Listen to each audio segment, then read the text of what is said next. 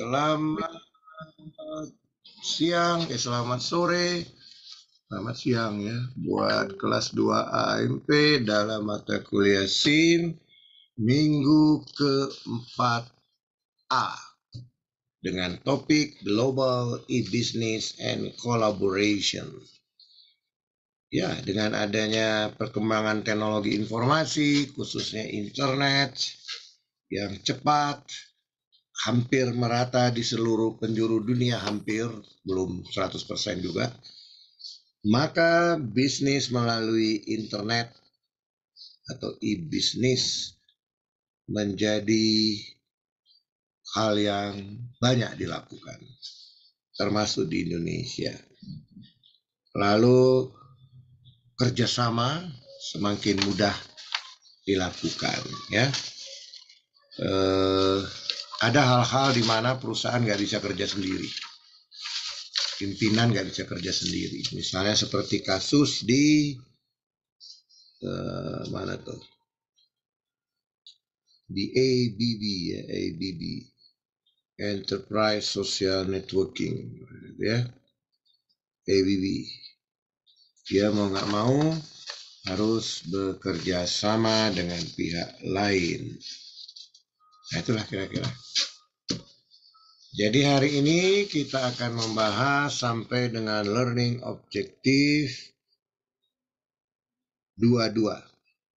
Ya, learning objektif 21 adalah apa saja fitur-fitur organisasi yang harus dipahami untuk memahami peran sistem informasi manajemen di dalam organisasi seperti Pemda atau perusahaan.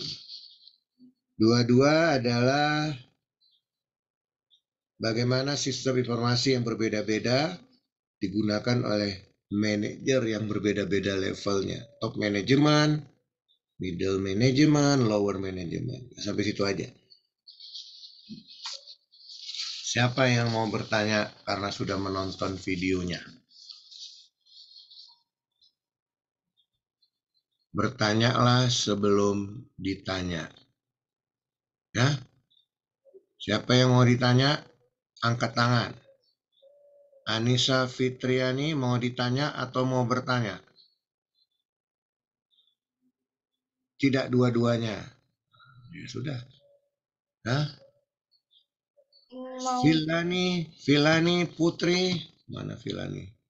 Menghilang. Mau bertanya apa mau ditanya? Nah, silakan. Mau bertanya, Pak. Bertanya sebelum ditanya ya. Uh, mana lagi yang Fani, kenapa kameranya off, Fani? Apa yang terjadi dengan diri Fani?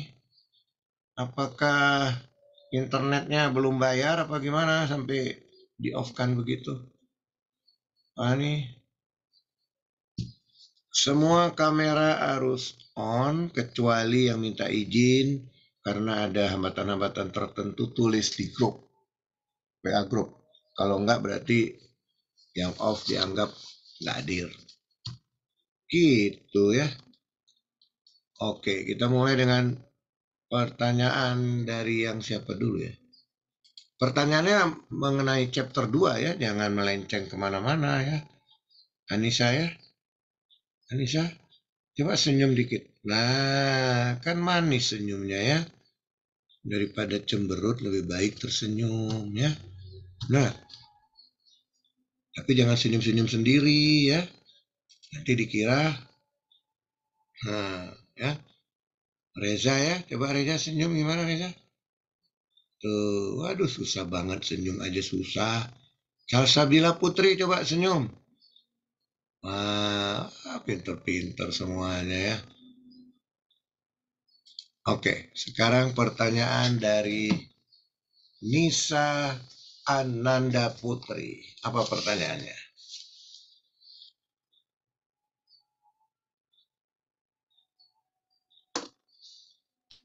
Baik, terima kasih Pak.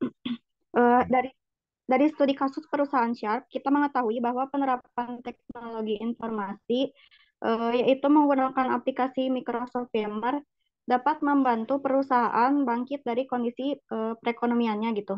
Nah, Hmm. eh, pertanyaannya, bagaimana perusahaan Sharp itu bisa secara tepat mengukur dampak positif penggunaan aplikasi tersebut? Eh, terus, bagaimana hal ini dapat dijadikan pelajaran bagi perusahaan lain dalam menghadapi eh, situasi yang serupa? Terima kasih, Pak. Anissa An eh, Nisa ya, bukan Anissa, Nisa Ananda, dua pertanyaan langsung. Pertanyaan pertama, bagaimana mengukur bahwa Yammer itu justru penyebab perusahaan menjadi lebih baik kinerjanya? Kan tujuan digunakannya Microsoft Yammer adalah memberi ruang channel supaya karyawan-karyawan, engineer-engineer muda tidak ragu-ragu, tidak takut-takut mengeluarkan ide-idenya.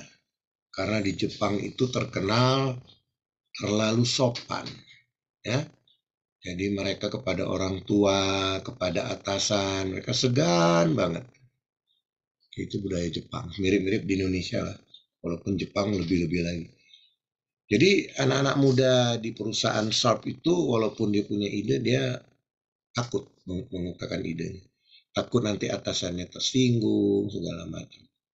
Nah dengan dibuatnya Microsoft Yammer, jadi orang bisa mengemukakan ide melalui jalur itu seperti WA begitu, mirip gitu, tertulis gitu, nggak usah berhadapan langsung, maka muncullah ide banyak.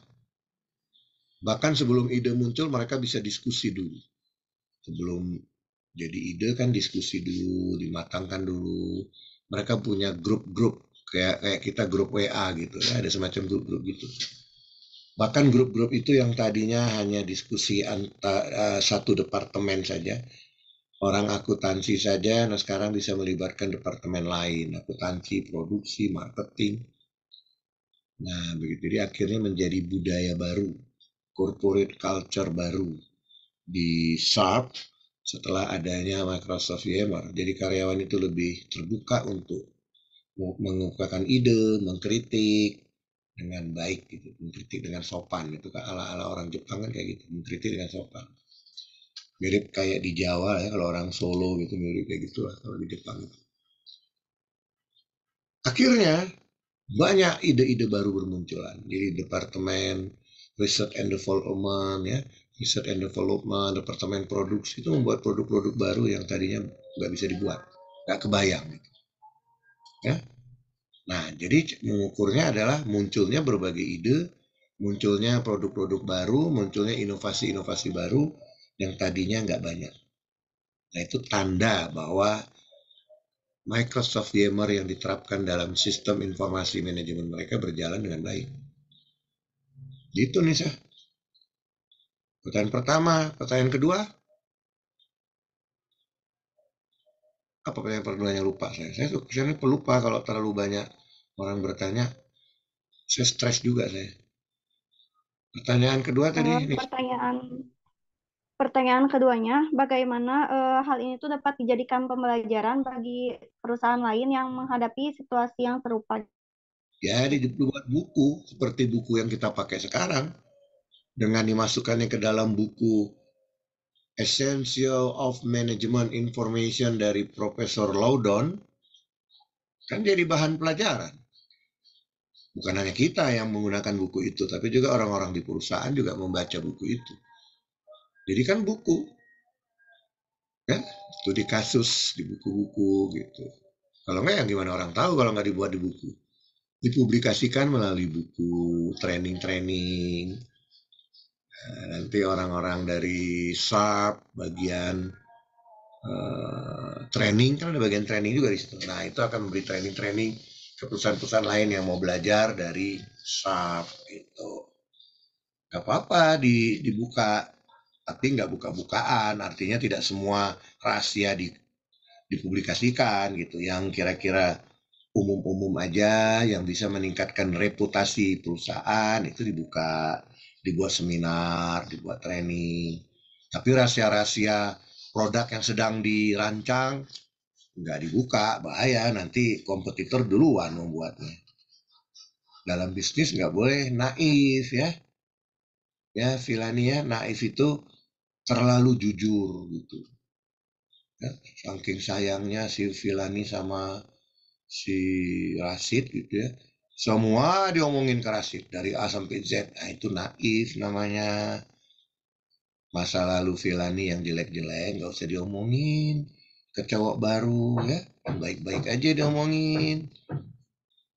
Ya, jadi jangan terlalu terbuka semuanya diomongin nanti jadi oh ternyata kan kayak gitu jadinya. Perusahaan juga sama, jadi dia sharing seperti kata Nisa tadi ya melalui training, seminar, buku supaya nama baik Sharp meningkat. Tapi nggak nggak rahasia-rahasia yang rahasia dia nggak buat. Begitu Nisa Ananda Putri terjawab apa belum? Udah lah ya kayaknya. Terjawab, Pak. Terima kasih. Alhamdulillah kalau terjawab ya. Ada yang mau nambahin? Mungkin ada pendapat lain? Abdullah Husna mau ngasih tambahan? Abdullah Husna mungkin dulu pernah kerja di pabrik tahu tempe di Sumedang. Mungkin juga pernah melihat bahwa komunikasi diskusi bisa meningkatkan kinerja karyawan. Eh? Andini Rahayu yang pernah kerja di TKW di Taiwan kalau nggak salah ya, Hong Kong atau Taiwan. Mau ngasih tambahan pendapat? Hmm, cukup, Pak. Oh cukup, ya sudah kalau begitu. Anissa daripada cemberut-cemberut sendiri, Anissa Fitriani, cemberut-cemberut di ruang tamu rumahnya gitu, mending ngomong aja. Tapi mau kamu tambahkan? Uh, cukup, Pak. Cukup. Wah, semuanya pada cukup. Ya udah. Pertanyaan berikutnya. Sopi Nurak Malia. Nurak. Nurak ya. Bukan bukan Norak ya. Nurak ya. Nurak Malia. Sebelumnya uh, terima kasih Bapak kesempatannya. Ini Hmm. pertanyaannya berkaitan dengan uh, peran si manajer itu. Nah, pertanyaannya itu uh, kira-kira apa sih tantangan utama dalam mengelola sistem informasi dalam skala besar di perusahaan e-commerce itu sendiri? Lalu uh, tindakan yang kiranya gitu bisa dilakukan oleh si manajer dalam menghadapi tantangan maupun hambatan itu. Terima kasih. Kan saya bilang pertanyaannya sekitar chapter 2. Di chapter 2 ada gitu cerita soal itu. Tantangan mengelola SIM adalah satu,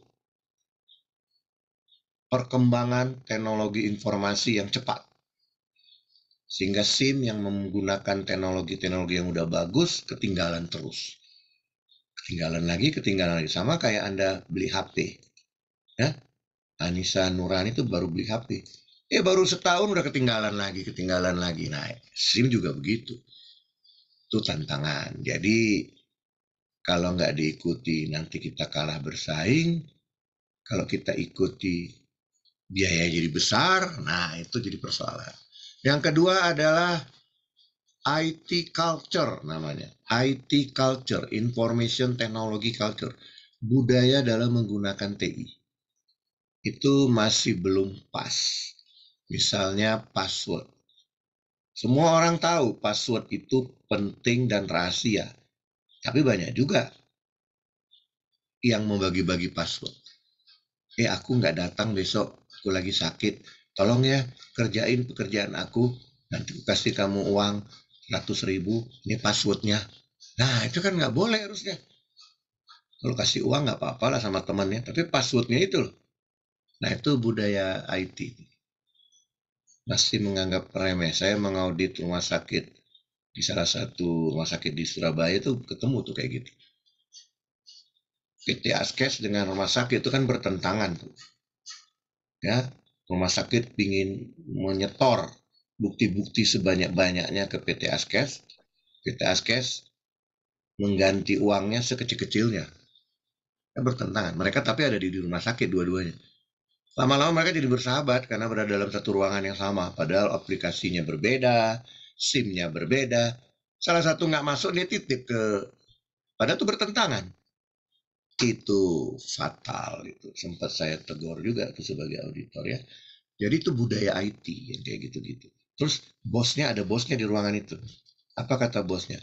Ya Pak, namanya mereka berteman.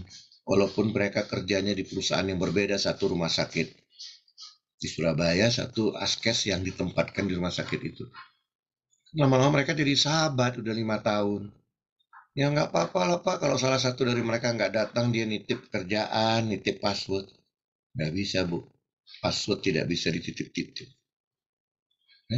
Anissa Fitriani mau nitip password kartu ATM-nya? Coba apa?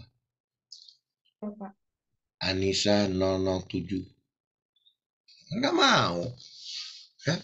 Demi kasih sayangnya kepada si doi, ini ambilin uang aku ya. Aku lagi sibuk nih di kampus. Jadi kamu jemput aku, uangnya udah ada. Passwordnya apa? Anissa 007. Itu nggak boleh. Nanti begitu putus, tahu dia password kamu. Akhirnya kamu dijadikannya objek curinya uangnya. Jadi password tuh nggak boleh hanya kita dan Tuhan yang tahu. Ingat tuh, password itu hanya kita dan Tuhan yang tahu. Nggak boleh siapa pun tahu. Ya, Oke, itu itu hambatan-hambatan kayak gitu-gitu. Jadi budaya Kemudian juga gaya manajemen yang berbeda. Itu ada kan bahan itu belum saya bahas tuh. Dari fotokopi belum? Dua bab dari buku George uh, M. Scott. Nina Utami, sudah fotokopi belum? Sudah, Bapak. Eh. Nah, itu ada namanya gaya manajemen. Pimpinan yang lama pingin informasinya detail, penuh dengan warna-warni yang dibuat oleh SIM. Begitu dia keluar dari situ diganti sama pimpinan baru, pimpinan baru nggak suka dengan gitu-gitu. Tapi SIM-nya belum berubah. Harusnya pergantian pimpinan harus merevisi, mengubah SIM. Karena gaya manajemen itu membutuhkan informasi dengan tampilan yang berbeda-beda. Nanti kita bahas secara detail mengenai gaya manajemen di dua minggu ke depan. Gitu ya kira begitu Sophie. Ya, kamu silakan belanja di Shopee ya. Namamu udah pas untuk belanja di Shopee. Oke. Ini bayar sendiri. Sekarang Izati Afwa Paradisa. Wah, ini namanya aneh juga nih. Izati. Izati itu artinya apa? Apa artinya izati? lupa, lupa Pak. Lupa. Oh ya udah nggak apa-apa. Pertanyaannya, Eh, baik, Pak izin bertanya mengenai eh, Microsoft Yammer. Jadi, bagaimana perusahaan dapat mengamankan data dan informasi yang dibagikan melalui Microsoft Yammer agar terhindar dari potensi kebocoran atau pelanggaran keamanan? Karena kan Microsoft Yammer ini disebutkan sebagai platform sosial yang eh, itu tuh eh, memungkinkan dialog dua arah antara karyawan, lalu pemimpin, perusahaannya juga, lalu ada pihak-pihak dari luar juga. Jadi kan di dalamnya itu ada memunculkan ide dan informasi-informasi penting lainnya, Bapak. Jadi seperti itu. sama seperti Anda buat WA group. Nah, gimana tuh menghindari data itu? Tentu saja yang masuk ke grup itu orang-orang yang Anda percaya, ya supplier ikut. Jadi ada grup kita diskusi dengan supplier, kasih grup namanya apa. Nanti ada grup internal kita aja, supplier nggak ikut gitu. Jadi nggak nggak satu grup untuk semuanya, nanti bocor dong datanya.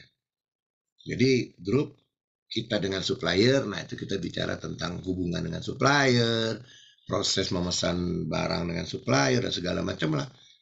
Eh, mengkritik supplier, ngasih ide-ide buat supplier, tapi yang nggak ada hubungan supplier kita buat grup lain lagi gitu. Izati, bisa dipahami? Baik, Bapak. Terima kasih. Dengan demikian tidak bocor datanya. Sama seperti Anda buat grup, kan nggak bocor data grup Anda karena anggotanya dipilih. Ya, nggak sembarang orang masuk jadi gitu. Oke. Nah, sekarang yang mana Yohana, yang mana Salsa? Kayaknya Yohana saya Pak. di Salsa yang penari itu ya sebelah kanan. Oke, Yohana dulu.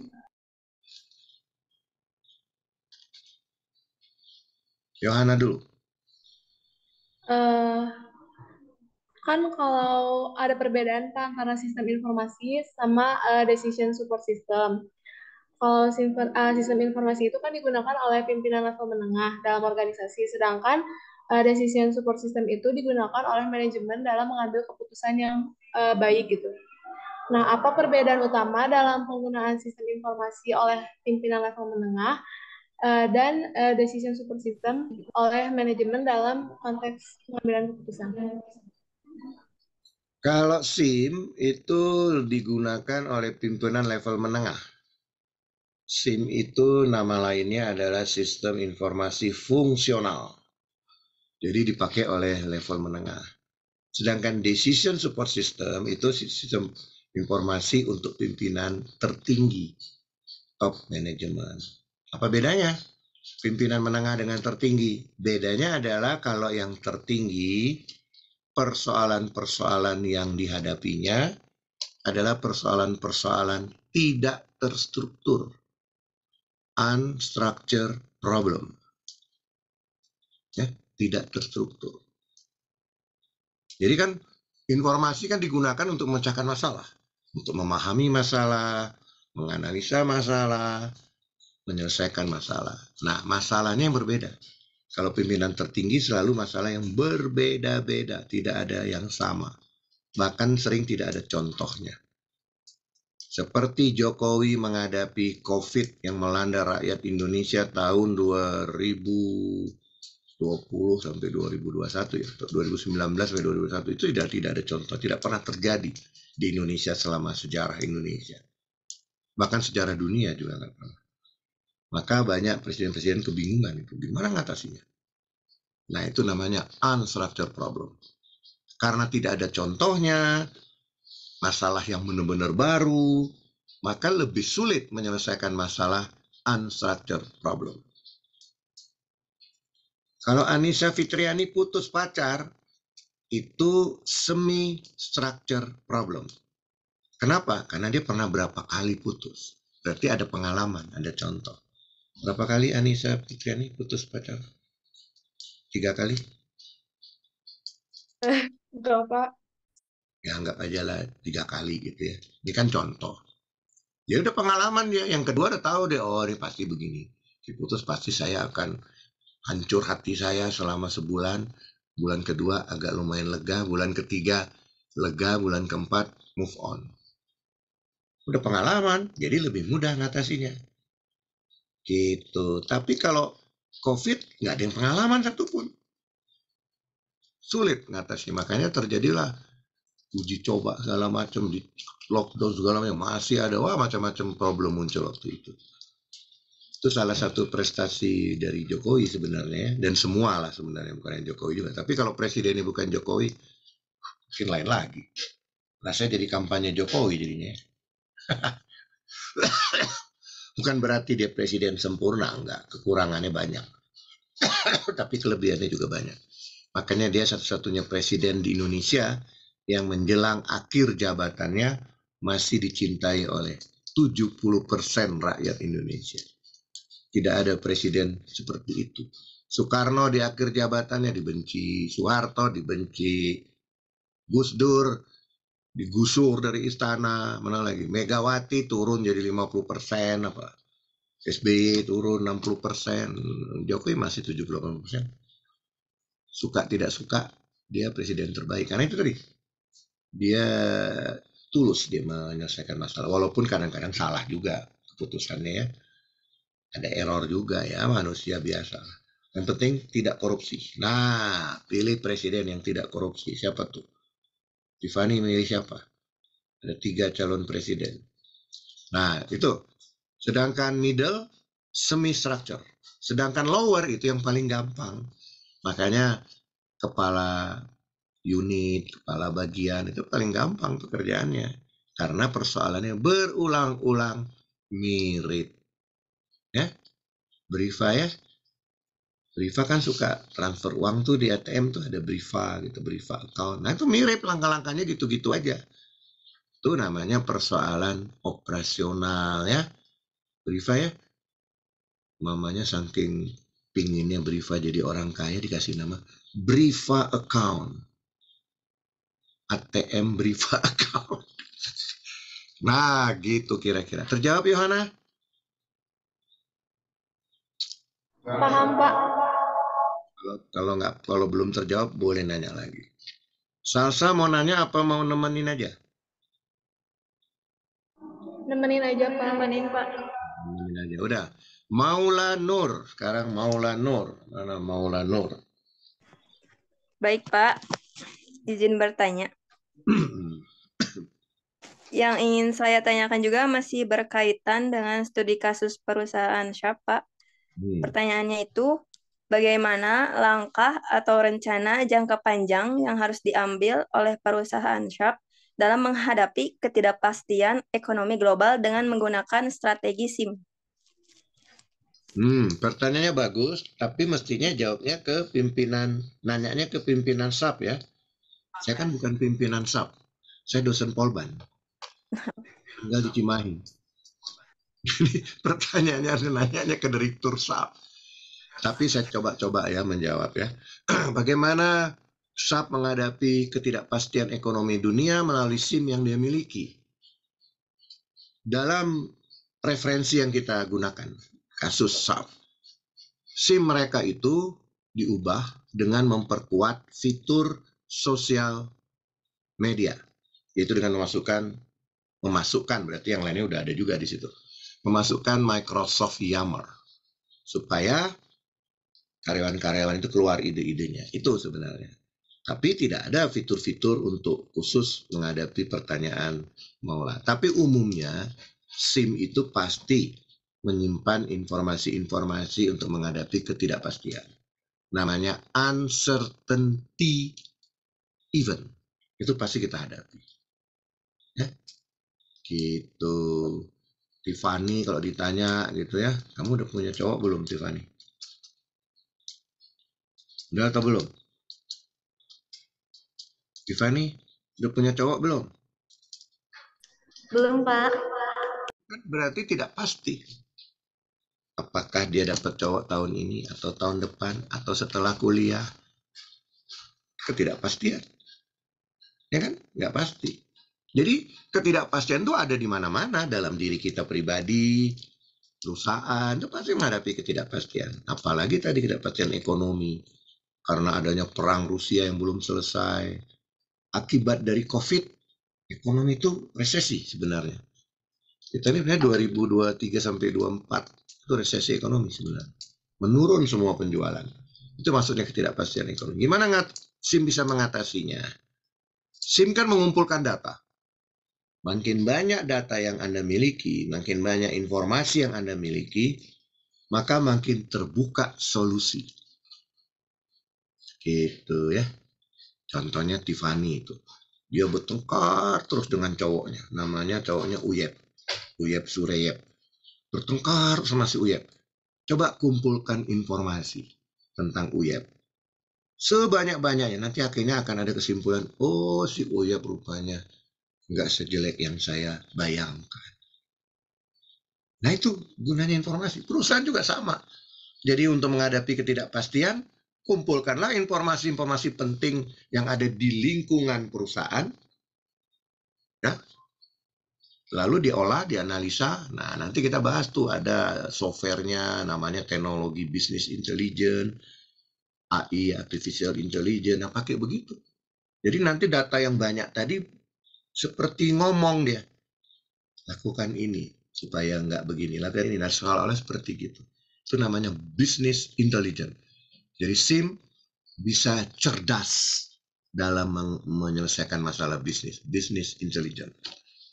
Gitu Maula Nur ya detailnya kamu datang ke Jepang tanyain.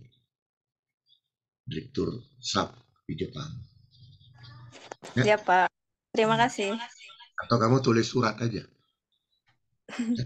Terhormat direksi SAP, kami di kampus mempelajari kasus perusahaan Anda melalui mata kuliah bla bla bla SIM.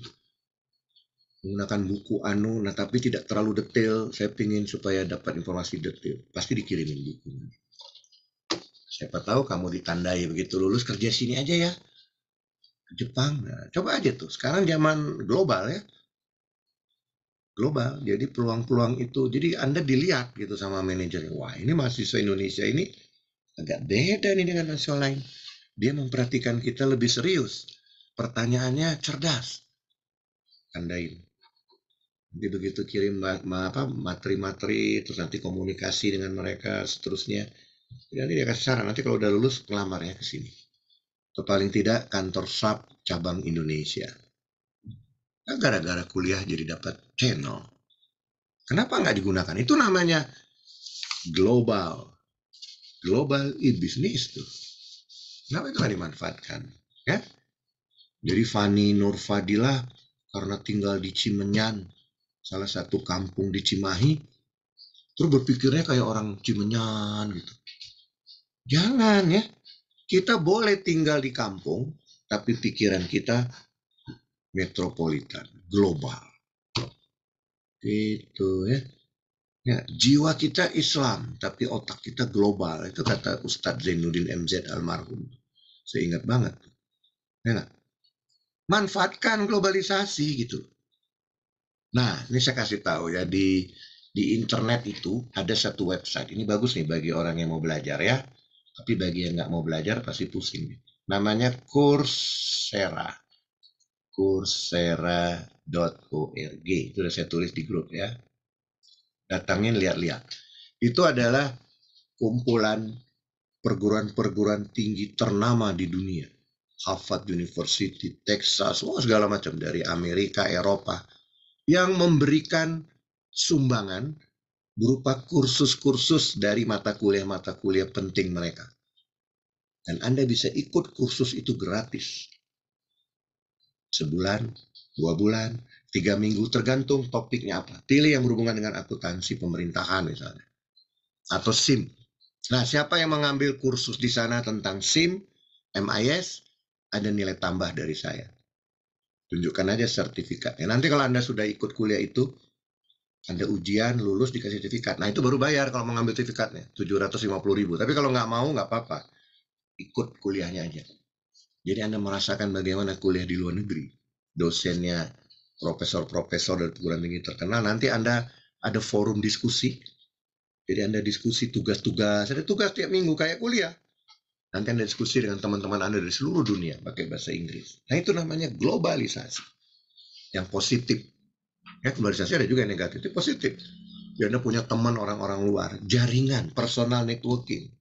Begitu Anda lulus, Anda tanya ke mereka, ada lowongan kerja nggak di sana? Bisa jadi dia buka, dia kasih tahu. Ya, nanti Anda dapat sertifikat keren banget tuh. Ya, Khaliza Nurhaini telah lulus mengikuti kursus Sistem Informasi Manajemen dikeluarkan oleh Texas University. Kuliahnya online. Kenapa itu nggak ada yang ikut?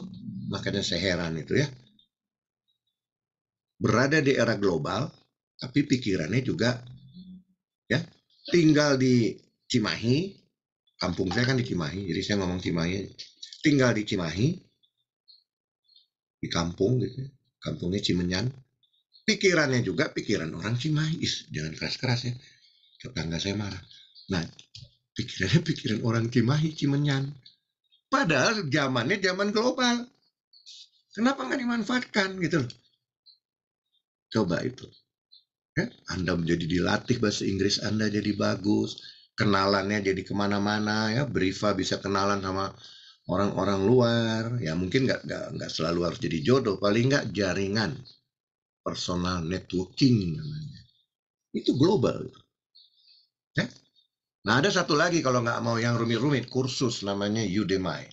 www ini langganan saya juga Udemy. Makanya saya bisa jadi trainer ngajar apa pun karena saya selalu belajar dari sini. Udemy. Udemy itu kursus itu itu beda kursus. Ya murah 120 ribu ambil kursus apa gitu. Nah siapa yang mengambil kursus Udemy dapat sertifikatnya tunjukkan ke saya nanti ada nilai tambah tapi asal berhubungan dengan SIM. Ngambilnya SIM. Eh? analisa perancangan informasi, project pengembangan informasi, ya, ada hubungan dengan atau SIM kalian. Ada juga yang gratis tuh nggak bayar. Ya, nah saya kasih uh, bonus nilai. Itu namanya global, gitu ya. Terakhir Andini, udah habis waktunya. Andini terakhir, mana Andini? Baik Bapak, eh, terima kasih. Eh, izin bertanya. Oh ya, eh, nama saya Rizda. Izin bertanya mengenai persaingan bisnis. Jadi kan eh, tentunya pada bisnis ini banyak sekali persaingan ya Pak. Hmm. Dan persaingan ini merupakan suatu tantangan bagi perusahaan tersebut. Eh, apalagi pada bidang e-commerce itu banyak sekali jenisnya. Nah, eh, pertanyaannya itu bagaimana eh, cara kerja SIM dalam eh, me- mengubah cara kerja eh, untuk memenangkan persaingan persaingan global tersebut. Terima kasih, Pak. Yaitu di kasusnya SAP dengan dia kan kalah bersaing, terutama di Asia, karena produk-produknya nggak nggak nggak ada yang baru, produk-produk lama gitu, ya DVD player lama, TV lama, semua serba lama. Dia pikir-pikir oleh presiden mikir-mikir ini karyawan saya ini 52 ribu orang, masa bodoh semua? Anak-anak muda lulusan perguruan tinggi ternama di dunia. Ini pasti ada yang salah dalam komunikasi. Makanya dia buka SIM-nya dia rubah. Memasukkan yang namanya apa tadi? Social networking. Dia masukkan supaya anak muda bisa berkomunikasi, berkolaborasi, kerjasama, ide-idenya keluar. Itu cara untuk memenangkan persaingan. Akibatnya keluarlah produk-produk yang unik. Ya, yang baru-baru yang nggak ada dibuat oleh uh, saingannya yang lain, perusahaan-perusahaan Jepang yang lain nggak ada. Maka dia akhirnya tidak jadi kalah dalam persaingan, justru jadi memenangkan persaingan. Itu pakai SIM itu, informasi, mengeluarkan ide-ide. Ya, itu kasus itu contohnya. Oke, satu lagi Neng Puspa yang tadi dari tadi sudah menunggu dengan lemas begitu ya, lama banget bapak ini giliran saya. Bapak mau bertanya, eh, bagaimana kebijakan pemerintah dan regulasi internasional memengaruhi strategi kolaborasi global serta ekspansi pasar untuk perusahaan e-bisnis atau e-commerce. Maksudnya apa tuh? Oh, pertanyaannya terlalu canggih. Kayaknya kamu baca dari mana tuh? Coba pakai bahasa kamu. Kebijakan pemerintahnya, Pak, untuk uh, untuk kebijakan pemerintah untuk ya untuk kolaborasi global oh, kolaborasi global dalam Kerja- e-bisnis. Kolaborasi global itu hanya diperlukan oleh perusahaan yang punya cabang-cabang di berbagai negara. Polban kan nggak punya cabang di negara lain. Jangankan negara lain, di Jakarta aja nggak ada cabang Polban. Berarti Polban tidak perlu berkolaborasi melalui website e-bisnis. Nah, yang perlu-perlu begitu punya cabang. Kalau nggak ada cabang nggak perlu. Ya. Nah, jadi dia punya cabang dulu. Nah, supaya cabangnya itu nggak berdiri sendiri-sendiri gitu ya. Mereka bisa berkolaborasi dengan pusatnya, bahkan dengan cabang-cabang lain. Kayak SAP kan punya cabang di beberapa negara, kepulauan negara. Maka dia bangunlah uh, SIM berbasis tadi itu, uh, berbasis social networking dan collaboration. Gitu maksudnya, Neng ya. Lalu gimana dengan uh, kebijakan perusahaan regulasi? Nggak ada yang melarang. Pemerintah nggak melarang. Pemerintah membolehkan kerjasama dengan siapa pun. Yang dilarang adalah kalau bisnisnya bisnis terlarang. Judi, judi online, nah itu nggak boleh. Jual narkoba, itu nggak boleh. Tapi selama bisnisnya, kan kalau membuat bisnis ada izinnya. Ya, nah selama izinnya itu sesuai, ya nggak apa-apa. Justru bagus. Makin dia kerjasama dengan perusahaan lain pun misalnya kerjasama dengan supplier gitu ya vendor itu perusahaan lain terus meningkatkan kinerjanya keuntungannya naik berarti kan pemerintah dapat untung juga pajaknya naik kalau penjualan naik pajak naik gitu kalau ekonomi lesu pemerintah juga ngalamin masalah bayangin kalau pabrik-pabrik pada tutup semua seperti zaman covid Berarti kan banyak karyawan nganggur. Termasuk terpaksa pemerintah mengeluarkan uang untuk bagi-bagi uang tuh dana sosial tuh. Waktu zaman Covid tuh. Dibagi 250 ribu, sekarang banyak orang nganggur. Kan jadi mengeluarkan dana pemerintah. Tapi kalau perusahaan itu sukses, masyarakat diserap dalam lapangan kerja di perusahaan tersebut, pemerintah jadi ringan dalam mengurus orang-orang miskin itu. Nggak bertambah orang miskin. Gitu. Ya Neng ya? Terjawab nggak pertanyaannya? Kayaknya enggak kayaknya. Setelah ini ada mata kuliah apa? lumayan. Mata kuliah apa setelah ini? Mata kuliah terakhir ini, Pak. Oh ya udah kalau terakhir saya lebihin aja waktunya. Tanggung dua orang lagi nanti dia nangis guling-guling kan di lantai kan nggak enak ya. Kalau si Vilani guling-guling, wah saya nggak ditanya sama si bapak. Vilani sekarang. Ini kayaknya yang kosong-kosong tahu ya. Wah saya kosong nih. baik Bapak, terima kasih Ini atas kesempatannya. Oke. Hmm, pertanyaannya, eh, di bidang bisnis apalagi dalam lingkup global atau internasional itu kan Pak, sebuah perusahaan pasti melakukan analisis pasar ya untuk keberlangsungan berjalannya perusahaan tersebut. Kayak menganalisis kebutuhan pasar, tren yang ada di pasar, yang di mana analisis tersebut itu pastinya bisa didapatkan dari SIM.